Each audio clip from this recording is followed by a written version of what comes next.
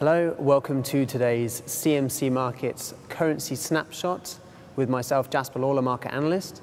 Today we're going to be focusing on the Australian dollar against the US dollar currency pair.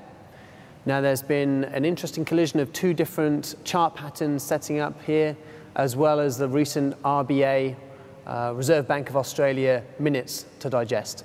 The Aussie dollar's had quite a run up this year. It started down at 87, recently hit a high at eight, uh, 94 cents to the US dollar, and we've recently dropped down to 92 cents. The latest move down has been as a result of the RBA minutes, which were a bit more dovish than expected, i.e. the central bank was leaning a bit more towards a rate cut than a rate hike.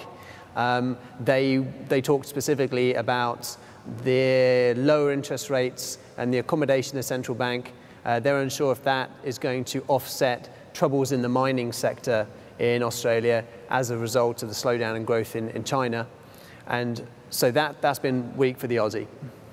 Now, the RBA, pretty much in every meeting, do tend to jawbone or talk down the Australian dollar. They have an ideal rate at about 86 cents to the, to the US dollar, which we've not even seen so far this year. So their rhetoric is unsurprising, what's been driving the Australian dollar higher so far this year has been a combination of uh, price movements in gold.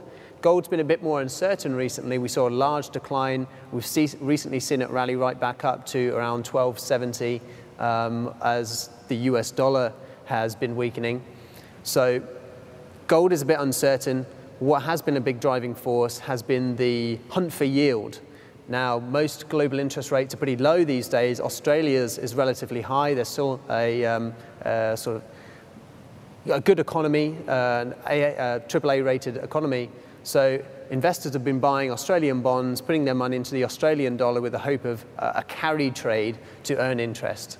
So the kind of battle going forward is whether that, that carry trade overrides um, the, the Reserve Bank of Australia and any price movements in, in gold. Now looking at the price charts for the AUD USD, looking at a daily chart here, the initial pattern that we had at the bottom of this chart is a reverse head and shoulders pattern.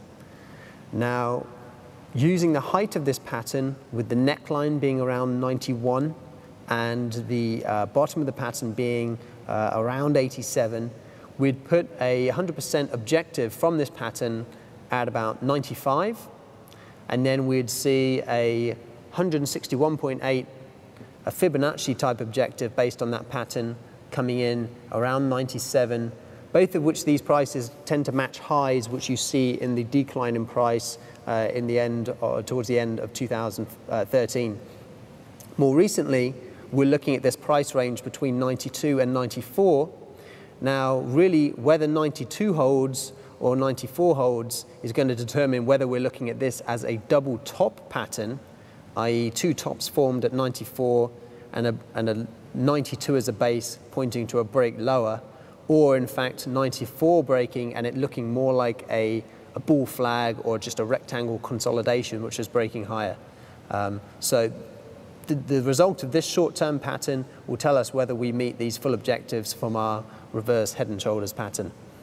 Thank you for watching today's currency snapshot. Remember, we're looking at the Australian dollar versus the US dollar, so we have to look at relative bond markets to see if that carry trade continues, as well as any comments from the Reserve Bank of Australia and what's happening in gold. Good luck with trading.